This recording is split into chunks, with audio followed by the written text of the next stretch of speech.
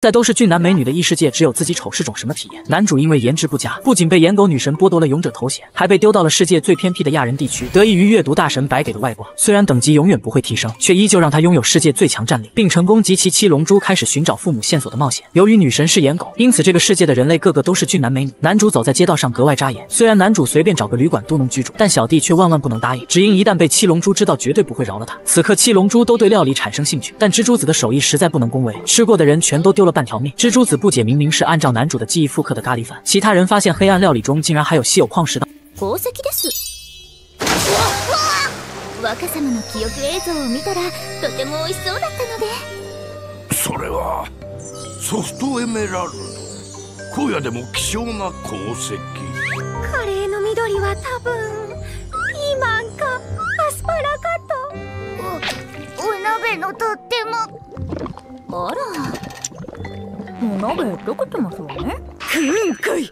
蜘蛛子亲自品尝，并不觉得难吃，却不知道包括人类的大多种族根本吃不了矿石，也不会吃武器和建筑物。毕竟对于蜘蛛子来说，这个世界所有东西都是食材。大老婆小八严重怀疑他懂不懂料理。蜘蛛子不满，至少自己会生活，于是当场表演如何用小火烤面包，却依旧以失败告终。此刻男主刚在饭店吃完史莱姆料理，因为没有零钱，只能用金币付账。出门却依旧惨遭异世界俊男美女的异样眼光。随后男主来到工会，得知男主才艺级，冒险者纷纷吐槽他是小学生，就连讨伐史莱姆的委托都接取不了。突然身后传来女人的求助声，盗贼集团。荒城之月正在袭击女人的村子，男主意外荒城之月是他最喜欢的曲子，只可惜这里的冒险者都是菜鸡，根本没人敢出手相助。想趁机占便宜的冒险者却有不少。女人生气就是因为他们这种人太多，女神才会像现在这样坏心眼对待人类。男主觉得和自己相比，他们还是要好得多。没多久，男主就发现身后有人跟踪，对方见他用金币付账，见财起意。一旁还有想对之前的女人用强的人渣冒险者。男主虽然不想管，却还是选择出手，将这些贪财好色的人渣败类一并解决。女人意外以为男主是亚人，却不知他虽然长得丑，好歹也是个人类。男主用阅读大神给的力力量为伤者提。供治疗。此刻他才注意到受伤的男孩是一位狼人。男主询问关于强盗的事情，那些人为了杀鸡儆猴，把村子最强的人折磨致死，就连对方的太太也没能幸免。懦弱的村民想要破财免灾，然而凡是被盯上的村子都遭到了屠村，但工会却不愿派人讨伐。虽然来到异世界才短短几月，却已经让男主见识到太多的不寻常。这个世界的人命犹如草芥，可他终究还是做不到视而不见。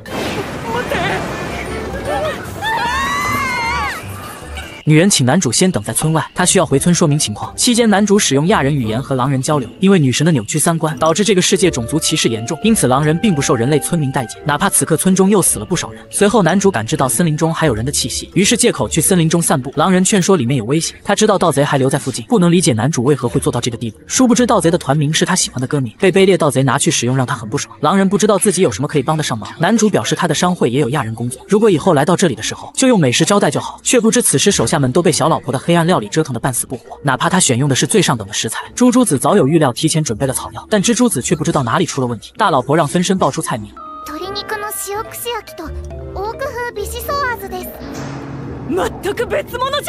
只因他听说发芽的土豆有毒，所以就连皮一起去除，其中还有能把嘴巴割伤的青菜，却不知那是野外的杀人草，叶子会变成刀刃切割猎物。加工すれば研磨剤くらいには。蜘蛛子强行挽尊，肉品是他的得意之作。可就算是最强大的战士也咬不断。蜘蛛子是真的懵逼了。他明明是参考以前男主吃的料理做的，但他选的肉却坚硬如铁，并且用的油还是工业润滑油。龙女明白了一个道理：高端的食材也不见得能做得好吃。为了迎合男主的喜好，龙女建议蜘蛛子走遍世界，提升自己的烹饪技巧。本以为蜘蛛子会不满意，不料他却认为这个主意非常好。接下来他要进行料理的武者修行。为了不让男主继续被颜狗女神针对，龙女也有自己的任务需要调查。与此同时，男主这边盗贼聚集在一起商量，等村民把财物交出之后就屠村。却不料男男主再次化身。面具超人再开启声音结界隔绝声音，等盗贼发现不对劲，已经为时已晚。射来的利剑陆续命中盗贼。虽然男主不愿介入人类的事，但他已经决定，一旦犹豫，就会按照自己的感情行动。为了节约剑矢，男主改用魔法。之前跟着猪猪子学习的火焰魔法，此刻派上了用场。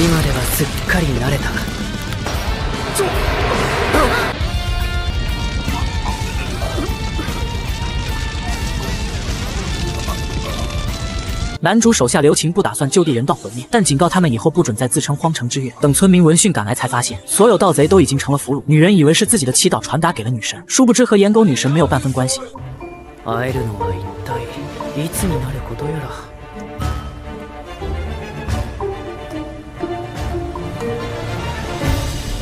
这个女人是真牛逼，任何事情只要稍微努力一下就能做到，以至于让她感觉人生无聊至极。等回过神来，便被颜狗女神选中。女神打算让她跟另一个人以勇者身份拯救异世界，不料她却完全没有兴趣，并表示自己的朋友很多。然而女神一眼定真，知道她并不想和没有共鸣的朋友一起度过虚无的人生，而是渴望拥有能托付后辈的朋友，来一场赌上性命的挑战人生。女神擅自决定赐予她强大的魔力、强化的身体能力以及超凡的领袖魅力，再加上她的专属神器。说罢，不管她同不同意，都被送到了里米亚王国。本以为被女神抛弃的国王欣喜若狂，有了勇者就不用再担心魔族的危害。女神还特别要求王国要好好善待勇者，人比人气死人。此时被颜狗女神嫌弃的男主，却已经在无人的马拉戈壁徒步了两天半。这个世界魔族备受女神庇佑的人类赶到了贫瘠土地，但近十年却开始呈现反扑之势，其中一国已经毁灭。如今王国和帝国暂时结盟，拉起防线，但王国对帝国的评价很差，不能理解帝国为何也有勇者。女主意外神器之中竟然还有一位狼精灵，当务之急就是从佣兵当中选择队友。国王推荐宫廷魔术师乌迪以及骑士团的天才新人。次日，白毛黑妹看出勇者是没有沾过血的温室花朵，她丧失兴趣，不愿当保姆。乌迪现身将她叫住，但他比起当优等生的护身符，只要能斩杀魔族就够了。勇者也连忙将他叫住，他看出白毛才是在座最强者，因此希望请他指导剑术，以及成为在战场上托付后辈的搭档。白毛却没办法将小命交给需要自己指导剑术的家伙。勇者抛出诱饵，只要跟随他就有杀不完的魔族，总比拒绝之后在这个国家待不下去更好。分かったよ。勇者響き、やはり美しい。絶対彼女のそばにいてみせる。 ちなみに三角誠の場合。时代劇かぶれの竜に好かれていた。随后，勇者一行发现来访的巫女马车翻了，此时正被四只狗头人盯上。别看狗头人这么可爱，其实是靠吞噬魔力强化自身的强大种族。巫女正靠着防御魔法苦苦支撑，如果他们一人负责干掉一只的话，就能在狗头人呼唤同伴之前全部干掉。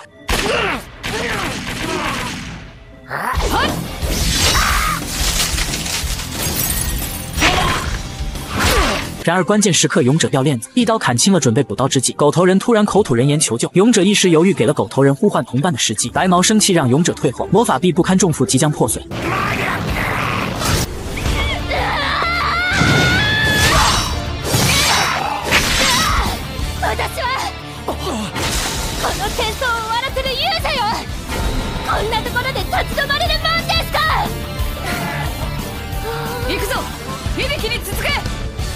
危机解除之后，巫女如愿加入勇者小队。后来在与魔族的战斗中屡建战功，直到遇到了灾厄黑寡妇，在绝对的力量面前，勇者小队的攻击全都无效化，顷刻间队友尽数倒下。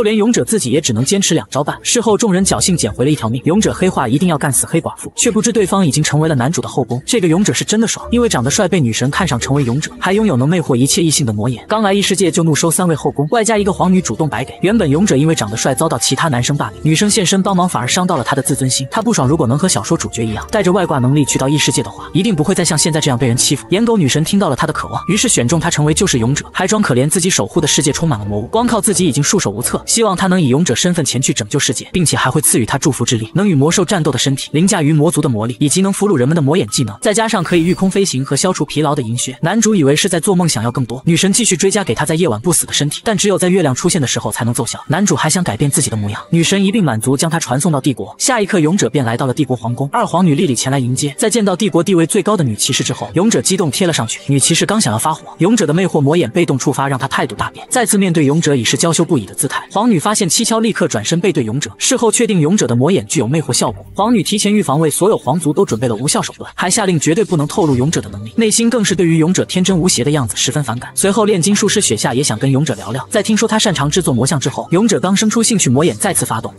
勇者様は帝国の全魔道具に適性があるんですって。ぜひ語り合いたいから、今夜は私の部屋に。 随后，勇者在皇宫发现龙的存在，以及幻龙师双马尾。该死的魔眼继续发动。私お兄ちゃんのお嫁さんに。え。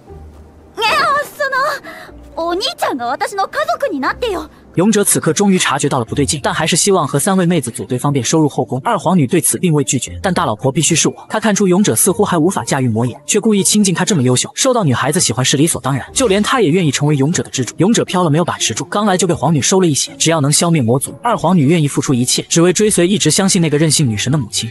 这个勇者真牛逼！转生来到异世界后，他告诉女神，他要做到世界最强。于是女神赋予了他不死不灭的身体，只不过这只有在月光的照耀下才能不被杀死。所以为了弥补在白天时的缺缺陷，女神还赠予了他一些传奇装备和飞行斗技，甚至给了他一只能让所有生物都臣服的魅惑魔眼。而这个魔眼就有意思了，不仅助力智树攻略了帝国最强的女骑士，而且妙龄的少女也争着白给身体，甚至连可爱小只的驯龙师也想嫁给智树。让智树本人也没料到的是，明明帝国的第二皇女已经识破了他的魅惑魔眼，却还是心甘情愿为他献上了处子之身。智树原以为能长久沉浸在这种羞羞生活里，然而作为勇者的他，自然免不了要和魔王军决一死战。在开战前，勇者小队被召集在了一起研究战术。智树是帝国的勇者，学姐是王国的勇者，两人都被女神从地球召唤过来。虽说这次魔王军的人数是他们勇者方的五倍，但众人有着自信，只要有这两位拥有女神祝福之力的勇者在场，再多的魔王军也只不过是给他们用来刷数据的。只是学姐不明白为什么要选择夜晚来当开战时间，但智树月光下不死的秘密自然是不可能透露的，也只是随意说着擅长夜战就糊弄过去了。其实他平时也挺擅长夜战的呢。在确认作战计划之后，智树手提大钻头给士兵们作战前的最后一次鼓舞演讲，随后一鼓作气冲进了大峡谷。只是没想到的是，传闻中凶悍善战的魔王军却被勇者军摁着锤，不出两分半就清空了峡谷里的魔王军。这简单的让学姐怀疑是诱敌深入的陷阱，结果还真是。只见魔将罗娜轻抬手掌，下一秒，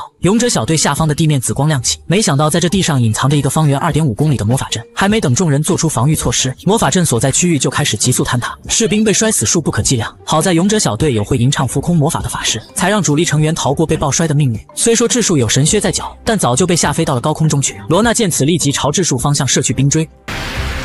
行に。冰与火的对决瞬间在空中炸起了一道烟雾，而后专属于智树的勇者小队也赶来了支援。智树在飞龙背上蓄能龙焰开始反击，可罗娜只是手指一划，瞬间就让龙焰的直射改为了横扫，躲开了这一击。见远程攻击无效，智树干脆降落到魔王军的要塞上，正想着群起而攻，可这时一只光头魔将拦住了他们的去路。光头只是轻轻挥动手臂，就将智树震飞了出去。没想到对方的肉体强度竟然能硬抗钢铁大钻头，不气馁的智树又再次操控起钻头发起攻击。虽说这一击直接炸掉了对方一个手臂，可对方还有三个呢。智树心想就这样磨死对方也不是不行。然而下一秒，对方被炸掉的手臂竟又重新生长了出来，这让刚赶来的学姐也震惊不已。眼下或许只有瞬杀才能终结对方了吧？但光头也不傻，要面对两位勇者，也只能使出杀手锏，那就是针对女神之力的消除戒指。随着光头念起咒语，戒指也跟着消散，随后瞬间暴起的魔力威压险些将智树和学姐压得喘不过气。两人没想到的是，女神之力被清空了，只是盔甲这轻轻两吨半的重量，就压得智树起不来身。联想起女神赋予给自己的不死不灭的身体已经没了，智树顿感不妙。如果现在受到攻击的话，那他会死。心里的极度恐惧告诉智树，这场战斗是无法取胜的了，只能选择撤退。然而学姐却不同意，但智树哪里管你同不同意？想逃的话，趁现在大家一起逃，留着命才能回来报仇。但学姐想到刚才被坑杀的无数同伴，觉得这场战斗不能就这样善了。作为勇者，却只顾自己活命，学姐是不认可这样的勇者的。然而智树依旧怕得要死，头也不回离开了此地。眼下这场闹剧，在光头看来也觉得可笑。没想到人类方的勇者还能反目成仇，真是有意思。也在这时，学姐的勇者小队也终于赶来了支援。与此同时，天空上的女神一一直留意着人魔交战的战场，在看见人类方败逃后，女神有点不爽。突然，她在水晶球里瞧见了男主的身影，于是决定抓男主当乐子，将男主传送到人魔交战的战场上。她倒要看看男主被魔王军折磨后会是怎么一副丑样。这想想就开心。只不过女神怎么也没想到，正是男主的出现，让人类方反败为胜。而具体的热血战斗在第一季的最后一集里，感兴趣的观众可以回去重温。话说回来，学姐那边与光头的战斗打得十分焦灼，即使学姐这边有攻有防有辅有奶，却依旧不是光头的对手。白毛也意识到了这样下去不是办法，于是捏碎封印印自身力量的玫瑰状晶石。下一秒，一个玫瑰印记出现在了白毛的脖子处，辅助却露出难过的表情。只因这一旦开始，生命就会一直燃烧，直至凋亡。不过这用生命换取的力量也着实牛逼，仅仅一剑就砍得光头番茄酱到处乱喷。得知这种攻击可以起效，白毛发了癫似的再次蹂躏对方。然而这小小攻击却依旧拿不下光头的性命，这可是他燃烧生命才换来的力量啊！光头却让对方不要气馁，毕竟按战斗力来说，他是魔王军里最强的魔将，也值得白毛赌上性命和他拼杀。貴様を撃てば我らは大きく前進できる。油断はいかんな。ああ油断は良くない。取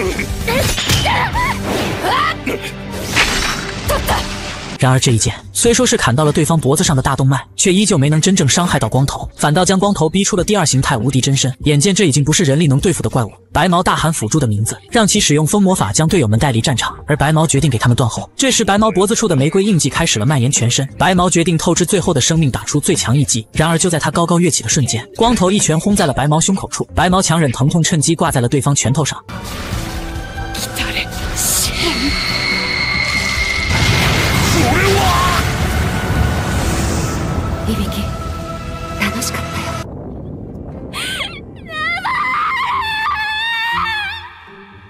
而早早逃回帝国皇宫的智树，此刻才懊悔自己是不是不应该逃跑。可皇女却表示智树的判断很正确，毕竟只有勇者继续活下去，将来才会有更多人被救。回到战场那边，光头却没有死，只是被严重烧伤而已。与此同时，他们还得到了一个坏消息：魔族的前锋大军被一个名不见经传的丑男击溃，而那人就是我们的男主。至此，回忆篇也终于结束，男主和古王也终于来到了学园都市，属于男主的异世界之旅才正式开始。是一场难度系数极高的考试，要在一百个足球场大小的旷野内，且用时不能超过两天半，收集在空中到处乱飞的三色珠子。男主以为凭借自己满级的实力，只需区区两个半小时就能将其收齐。然而他没料到的是，捕获珠子的方式也各有不同。红色则需依靠物理攻击打满二点五吨的伤害即可让它停止飞行，黄色则是魔法攻击，蓝色则是远程攻击。在弄懂考试规则后，男主二话不说就开干。可他一拳砸向红色珠子就傻眼了，红珠居然承受不住伤害当场裂开。男主以为是打开的方式不对，就想着换个黄珠试试，结果只是一个二点五。公分的小火球打出，就让黄珠炸裂。男主就不信邪了，弯弓搭箭射向天空上游荡的蓝珠，可依旧是一箭就秒。男主是彻底无语了，这总不能收集碎片回去完成考试任务吧？男主决定尝试最后一次，便给自身上了虚弱魔法，可轻轻一碰，红珠还是裂开，男主也裂开了。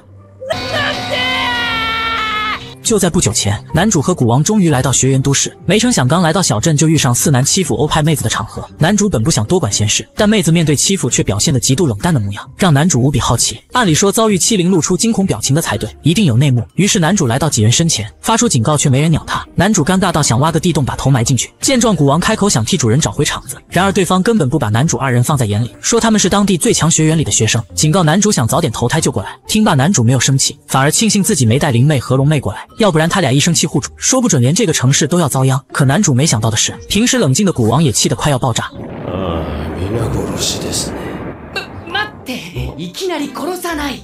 なるほど最大の苦痛を与えてからですか 于是古王只能上前好言相劝，让对方赶紧滚蛋。这样的话，你们至少不会死。可这却把他们都惹毛了，随即吟唱起风魔法，成功让身体离地飞起半米。在这之前，他们凭借这招居高临下就能吓跑无数恶人。可男主直言就这。随后，古王掏出法杖，发动吐息魔法，让对方几人体验到了什么才是飞一般的感觉。直到此刻，欧派妹子才露出惊恐的表情，这搞得就像男主这边才算真正的欺凌。随后，男主告诉妹子已经得救了，可妹子一点感谢的意思都没有，接着转身就逃离了此地。不过在临走前，告诉了男主他在前面的火锅店上班，如果男主能来的话，他会好好答谢的。在妹子走远之后，男主才想起刚才那几人还没下来呢，于是让古王一个风魔法给他们带了下来。没想到古王还趁机报复，摔了他们一个底朝天。男主无语，这古王真是幼稚。之后两人便要去寻找旅馆了，毕竟三天后才到新生的入学考试。可听到这的古王有些懵逼了，询问男主为什么要去参加新生的入学考试，而不是教师的入职考试吗？原来只有男主被蒙在鼓里。当初商会会长给男主写的是教师推荐信，男主有些无语。但既然都来了，什么样的考试也照接不误了。然而男主这小屁孩想来当教师，却被接待员一顿奚落。见状，古王又燃起了熊熊烈火，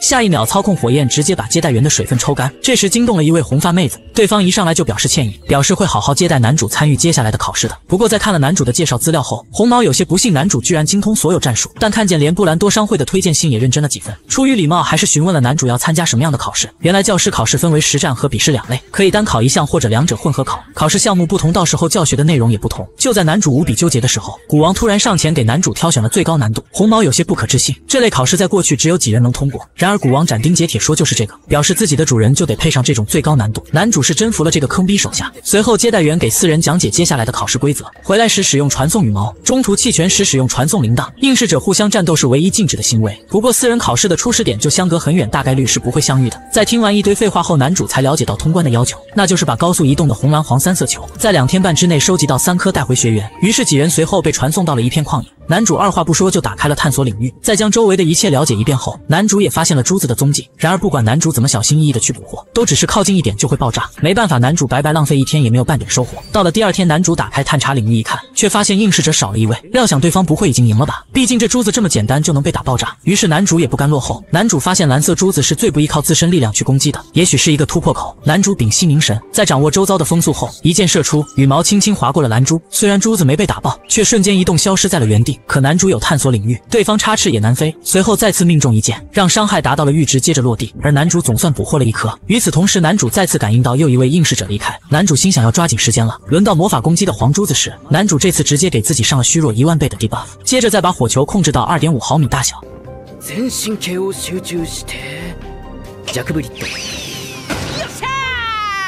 可惜天色已晚，男主只能把捕获红珠子一事放到明天。接着晚上饱餐一顿后，男主却感应到了一位人类突然加入考场。虽然有些疑惑，但男主觉得人家兴许是回去拿厕纸再来的，于是打开防御结界便入睡了。隔天男主醒来时，一名黑衣人突然袭向男主，眼看对方的匕首就要刺向男主，男主徒手就将其抓住，接着轻轻一掰便让剑断成了两截。这时男主才注意到刚才的匕首带有剧毒，好久没受伤了，这久违的感觉让男主莫名脸红。而刺客其实是过来阻止有人通过考试的。对于男主毁了他的爱剑，刺客有些生气，可也只能是生气而已，因为在被男主偷偷下了麻痹魔法后，他无法动弹。随后为了让对方离开这里，男主直接一脚给对方送离了旷野。没了刺客的打扰，男主以为轻松就能收集完红珠子，却不料在刚才对付刺客的时候调动了太多魔力出来，现在已经很难抑制魔力外溢，普通的攻击已经自带魔法加成，实在是收集不了红珠子了。就在男主以为只能等死的时候，突然想起自己还带了一把用来杀鱼的刀子，虽然有点鱼腥味，但起码这个是纯物理攻击。在男主折腾两分半后，总算把红珠子拿下。随后使用传送羽毛，男主回到了学园，才发现刚才提前回来的三人都被淘汰了，只有自己一个人通过考试。但接待员在看到男主带回来三色珠后，瞬间不淡定了。按理说收集同一种颜色的珠子三个就能通过考试，可男主把三种颜色各拿回来一个，也就是说男主在魔攻、物攻、远攻三个方面都是佼佼者。接待员直言男主是历史第一人，虽然男主这么逆天，到最后也只是被聘为临时讲师。不过男主对此也心满意足，毕竟听说人家可是不打算招聘教师的，所以才有了刺客逼退应试者的事件出现。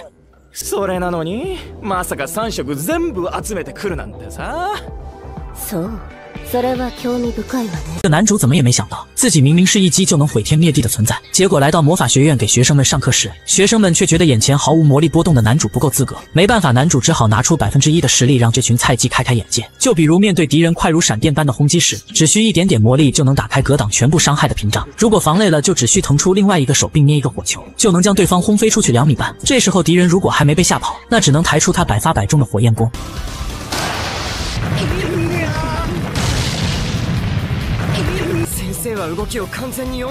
就在不久前，拿到三色珠的男主获得了在学院的教学资格。虽然只是被聘为临时讲师，但男主也因此在这城市得到了人们的信任。隔夜商会这才被许可开店。平时的话，男主就在店里打理生意，到了饭点就会去蓝毛所工作的火锅店里疯狂干饭。直到两天半过后，男主才被校方叫去正式上班。但校方不允许男主在学校里摆摊做生意，最大限度就只能是做点宣传。小姐姐接着介绍起学校里的基本情况：有教师数百名，教师的工资与学生人数挂钩，带一个学生就十个银币。一般的教师都会尽可能多带几个，可男主倒好，他恨不得只带一个，毕竟自己只不过是为了在学校挂个名，好让自己的商会开业罢了。不过为了不当显眼包，男主还是决定开设十人以下的小班。也在这时，一个自称布莱德的正式讲师加入群聊，表示自己会给男主安排十名学生，比如今年新进了一批比较不错的学生，甚至还有罕见的浮空魔法使用者。听到这的两人突然想起，他们刚来的那天不是教训了几个会浮空魔法的菜鸡吗？这种也算优秀学生吗？男主不禁流下冷汗，希望不要分配那几个傻逼给自己教，不然到时候再相遇很尴尬。在一切安排就绪后，男主来到图书馆找明天教学要用的书籍。负责图书馆里的蓝毛笑脸相迎，下一秒竟直接叫出了男主的名字，吓得男主赶紧后撤，保持警戒。毕竟他可没有自我介绍。蓝毛连忙解释是在某位老师那里听说了男主的事迹，可男主一点也不信。直到对方说出火锅店的蓝毛是自己的妹妹时，男主这才放下戒心。なるほど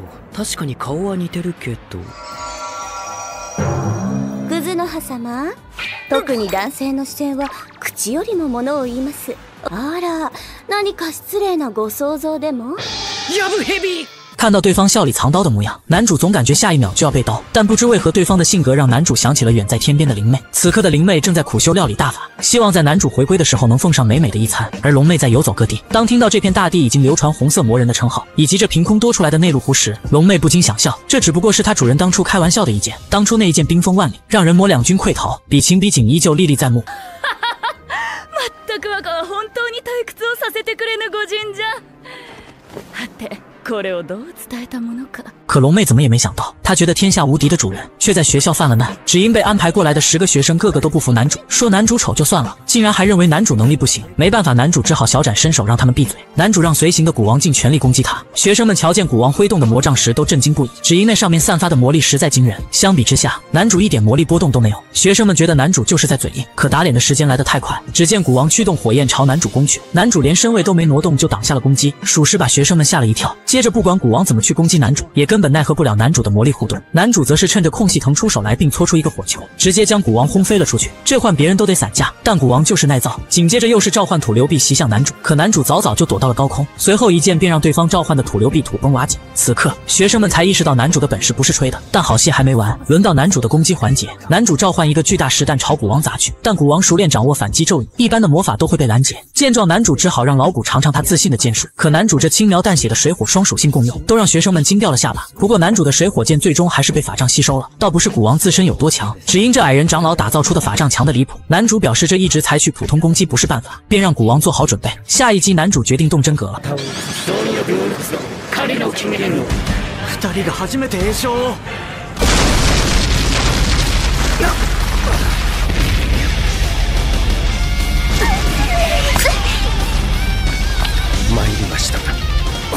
当看到古王跪地认输时，场外的学生都吓愣在了原地。男主以为自己用力过猛起了反作用，心想自己一个学生也收不到，便灰溜溜逃离了现场，并安排古王给刚才受伤的女生治疗。一撃も通らずか皆さんお疲れ様でした 反观男生这边，个个兴奋不已，毕竟能有这种逆天人物当老师，简直就是捡到宝了。随后，古王来到受伤的卷毛眼前，只是给对方擦了擦疗伤药膏，卷毛就瞬间心动。这下男主的课也非上不可了。经过第一堂课，十人最终留下五人，而他们即将要面对的是男主的魔鬼训练。可他们实在太菜，坚持不到两秒半就全都歇逼。男主表示他们能坚持两个半小时就算毕业。可男主殊不知，风平浪静的背后，正有人蓄意再次暗杀男主。刺客直言不可能，男主当初可是徒手就掰断了那个用上级龙玉剑的逆鳞打造的剑。要是让刺客知道，男主上次打断了上级龙玉剑的一条腿，此刻的表情会更加惊愕。但雇佣刺客的男人不想听借口，他只想让那位临时讲师立刻在人间消失。男主怎么也没想到，自己只不过是在学校里展示了一波手搓核弹，隔天就有一大群女孩送上门要给男主生猴子。然而男主都给拒绝了，只因自己家里可是有上古龙王和天灾蜘蛛这两位后宫守门。于是为了那些想要白给的女生的生命着想，男主只好选择单身。可男主殊不知，在他外出的这段时间，家却差点被偷了。帝国的勇者一行人直接闯入了龙妹的地盘。当勇者之术看见坐在床上的龙妹时，突然心生歹念，想要把龙妹占为己有。只因他在获得女神赠予的可奴役万物的魅惑魔眼后，用其洗脑了不少可爱的妹纸，甚至连高贵的帝国皇女也跟他玩了扑克游戏。这随意操纵别人的感觉，一度让他以为自己就是这个世界的主宰。可他怎么也不会想到，人外有人，天外有天。龙妹只是递给他一把佩刀，智树用尽吃奶的力也没能将其拔出。见状，龙妹不禁嘲讽，这瞬间就让智树恼火。自己可是女神从异世界召唤过来的勇者，怎么会连把破刀都拔不出来？下一秒，龙妹瞬移并把刀抢了回来，接着给智树展示了一波正确的拔剑姿势。不曾想，这剑气逼人的武器让几人垂涎。皇女表示自己会以高价买下。听到这的龙妹瞬间不乐意了，这可是陪她同生共死的搭档，怎能将其买卖？说罢便让三人赶紧离开他的地盘。可没想到，皇女表示那没办法了，声称自己是帝国的皇女，而眼前的男人是女神派来的勇者，希望龙妹能为了人类的未来，能协助他们抵抗魔族。おお怖い怖い龙妹再次表明立场，在自己发飙之前，让三人赶紧离开。不料这时智树突然使坏，使用魔眼操控了一旁的白毛。接着白毛上前劝说龙妹把剑交给勇者，但龙妹明显察觉到白毛不对劲，直接让白毛闭嘴。计谋失败，智树又开始了装杯，再次声明自己可是勇者，是要为这个世界打倒魔族，实现世界和平的存在。说话的同时，智树眼睛周围魔力涌动，想要洗脑并操控龙妹，然而一点效果没有。龙妹也不是不能帮助对方对抗魔族，毕竟对方也是地球人，和自己的主人来自同一个地方，那男主应该也会乐意帮助对方的吧。 只是对方那恶心的视线，就像是要把自己身体看光。想到这的龙妹就很不爽。如果是男主投来这种目光，那还差不多。然而这智树还是不知死活，继续向龙妹投来不怀好意的目光，想要操控龙妹。龙妹让对方赶紧滚，表示自己已经有了主人。这时，身为御龙使的红毛也终于察觉到了眼前龙妹是化作人形的龙，便想使用御龙之术。然而这对上古龙王来说毫無作用。ドラゴンサマナーとかいうやつか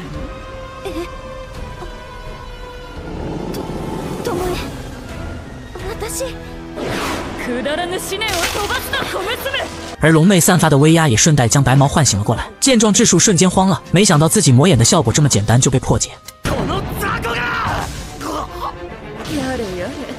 この雑魚がやれやれ まるで感触を起こした子供じゃな貴様は本当に救いようのないクズじゃな可惜龙妹接下来并没有下死手，或许是因为在没得到男主的指令前不敢轻举妄动，也只能用迷雾将三人送出外面，并警告他们，要是再敢踏入森林半步，定让三人死无葬身之地。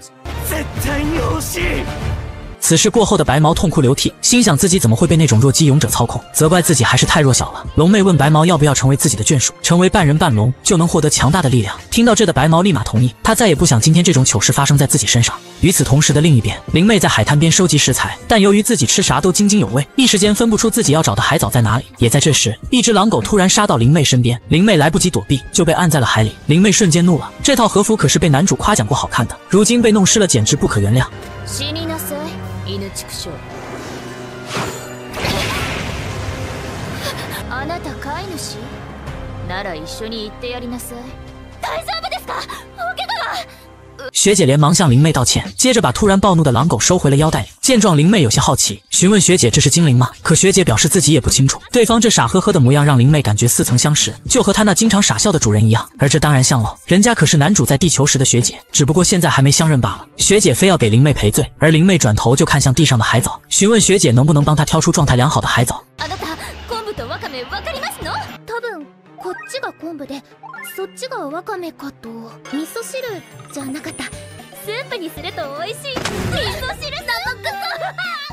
就这样，两人以这种奇怪的方式相遇。学姐等人是为了寻找武器而来，而灵妹负责给他们带路。更重要的是，要把学姐这位大厨拉到自己身边教自己做饭。突然，灵妹感应到前方有怪物的气息，便询问几人有没有实力对付。不行的话，就让他一个人来。话都说到这份上，几人也只好出击。谁叫他们是王国的勇者小队呢？然而战斗还没开始两秒半，灵妹就判断出了这个小队不行，倒不是个人能力的问题，只是那个脆弱的武器根本砍不动魔物坚硬的盔甲。很快，螳螂把黄毛一击揍飞。看着黄毛奄奄一息的模样，学姐惊惧到了极点，她害怕又一位队友会从自己身边死去。ミオさんお願いしますまったく自分たちの力量もわからないとはお粗末ですね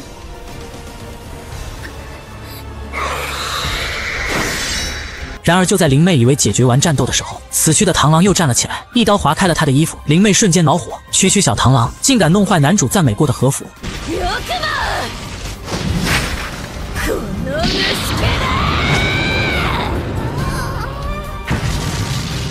此刻，灵妹欲哭无泪，为了不让自己的和服遭遇第三次袭击，只能加快行程了。于是，灵妹将勇者小队迷晕，想扛着他们离开，却不料那只狼狗又钻了出来。灵妹若有所思，猜测眼前的狼狗应该是见过以前蜘蛛形态的自己，便安慰狼狗别叫，他现在是好人，不会伤害你们的。这一番话才让狗子安分了起来。而后，众人不出两分半，就被灵妹带到了七格镇的武器店里。灵妹拽着学姐，让她教自己怎么用海藻熬汤。可勇者小队的其他成员不乐意了，他们是过来购置武器，然后去荒野修炼的，根本没有时间待在这里。灵妹直言，刚才的那种小魔物在荒野随处可见，你们去了就是送死。学姐表示他们背负使命，非去不可。见状，矮人长老想到了折中的方法，那就是他会给众人打造适合在荒野战斗的武器，但报酬是要教会灵妹做料理。听到这的灵妹也还是担忧，就算教给了他们武器，也无法保证他们不会死吧。闻言，学姐很是感动。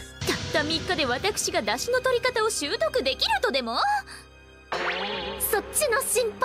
好家伙，死是可以死，但不能死这么早是吧？于是矮人长老便提出让冒险者小队跟随他们一起去，这样一来他们就能在保证生命的前提下修炼了。接下来的日子，学姐便教着灵妹做料理，可灵妹总是各种出错，而且由于灵妹的蜘蛛味蕾十分奇特，让她收集做甜点的食材，她就会搞回来一些辣味十足的东西。这下真要教会灵妹熬汤，估计没有两月半也够呛。另一边，在学园都市的男主也收到了古王的报告，古王告诉男主，龙妹有很多消息需要当面上报，要求男主回去亚空间一趟。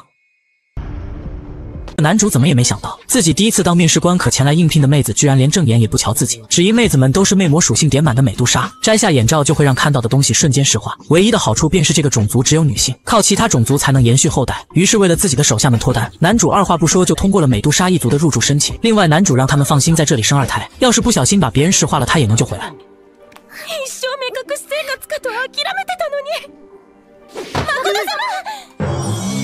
どうかここに住まわせてくださいお願いいたします就在刚刚，男主回到亚空间，可一进来就让男主懵逼。最适宜生物居住的亚空间，居然热得像蒸笼。虽然男主很想搞清楚这里发生了什么，但现在手下们的欢迎仪式更为重要，因为这是男主第一次出远门，而且一去就是两月半。看到男主归来，手下们都十分兴奋。男主举起酒杯，还想说些什么感谢的话语，可当着这么多人发言，男主屁也说不出来。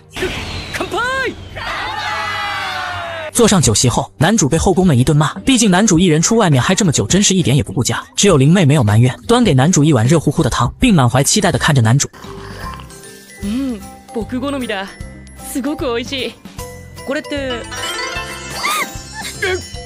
龙妹解释，这是灵妹亲手煲的汤。在男主离开的这两个半月里，灵妹可是外出拜访了不少料理大师，而餐桌上的美食基本都是灵妹做的。听到这的男主觉得不可思议，之前灵妹做的黑暗料理没把他毒死就算美味了，现在妥妥是五星级大厨了，真是了不起。闻言，灵妹高兴的飞起，直言自己已经了解烹饪的真正乐趣了，下次她要做更美味的料理给男主品尝。饭后也到了龙妹的汇报时间，接着她将遇到帝国的勇者智树告诉男主，说起对方也是被女神从地球召唤过来的，和男主年纪相仿。听罢，男主来了兴趣，想进一步了解对方。然而龙妹。直言，他用两个字可以概括。接着，龙妹推测对方过于陶醉在自己的力量中，有很大的野心和占有欲望，八成会在打败魔族后对同族的人类发起战争。另外，在读取同行的皇女的想法时，发现她对步枪、大炮这种武器有概念。古王直言，这应该是勇者告诉了皇女关于地球的武器，这不禁让男主有些担忧。要是对方在这异世界搞这些武器，真会挺麻烦的。龙妹有些恼火，她早就应该在那时瞒着男主杀掉这些祸害的。男主表示没必要，毕竟对方是被召唤过来拯救人族的，现在先静观其变就好。此外，龙妹还打听到了一件事，听说有一个红衣魔人一剑就在战场上炸出了一个内陆湖。那人也挺危险的。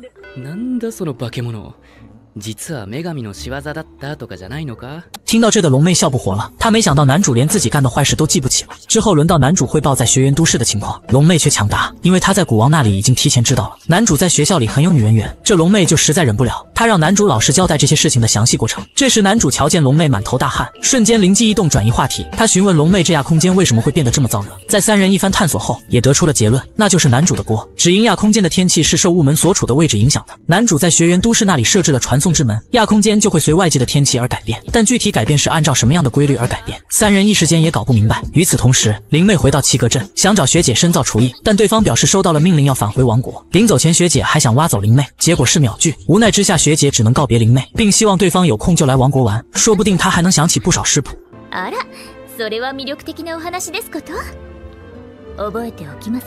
于是两人的故事先告一段落。第二天，男主在猪妹的带领下了解了现在亚空间的基本情况。因为用土魔法对农地进行了改良，现在平均两周半就能收成一次，所以亚空间已经实现粮食自由。现在要考虑的便是增加亚空间的居民。猪妹表示早已经有了人选，接下来由男主面试即可。第一轮是古王甄选出的异人族，按资料上显示，异人族是具有强大战斗力的种族，可族群数量多，居住的地方少，因此为了和其他种族争抢地盘，两天半一小战，两周半一大战，所以他们也急需一个宽敞舒适的居住空间。间正好男主这边缺少这种战力，便准许了异人族入住亚空间。第二轮是龙妹甄选的美杜莎一族，由于对方戴着眼罩，而且穿着清凉，让男主一时间有些害羞。可对方一摘下眼罩，就让男主惊讶。资料显示，他们具有让任何一切石化的魔眼，但这种能力却不受控制，看一眼食物，食物也会变成石头，所以他们必须蒙住眼睛生存。更大的缺点是，这个种族只有女性，因此需要找其他种族的男性繁育后代。一想到这，男主开心的不得了。他这个亚空间确实要改善一下基因了，必须给放进来亚空间。不过对方还有担忧，就是不知道其他居民能否承受他们的眼睛。男主直言没事，有他在的话，石化后的东西也能恢复如初。而且随后男主会让手下制作一些防石化眼镜或者隐形眼镜，给美杜莎一族的姐妹全安排上。闻言，把两大妹子感动哭了，恳求男主收留。第三轮是灵妹凭直觉选的小妖精一族，但对方神气十足，嘻嘻哈哈，简直就没把男主放在眼里，这让一旁的猪妹气得直打颤。男主直言没事，小妖精活跃一点好，而且他们数量多，在野外探索的时候也许能派上用场。可猪妹实在忍不了，她作为亚空间的大管家，绝对不能让这群没规矩的捣蛋蛋鬼住进来。なんだよ偉そうにそうだよ豚のくせになんですって鳥かごに放り込んでやるいっそ森ごと蹂躙されてしまい最后，这灵妹瞎选的小妖精一族暂时不批准入住。晚上，男主将面试通过的两个种族名单交给龙妹和古王，因为古王能制作防石化眼镜，所以美杜莎一族交给他管理，而龙妹则负责管理异人族。虽然灵妹选的种族没被看上，但她一点也不伤心，毕竟在她眼里，其他都是次要的，只要能做出让男主夸奖的美味，就是最大的幸福了。隔天，亚空间召开早会，欢迎异人族以及大美女一族的到来。与此同时的另一边，在学园都市也传出野蛮学生要回来的消息，男主的学生们对此十分担忧，毕竟这两位可是专门恶搞老师的千金小姐，看来男。男主也要难逃一劫了。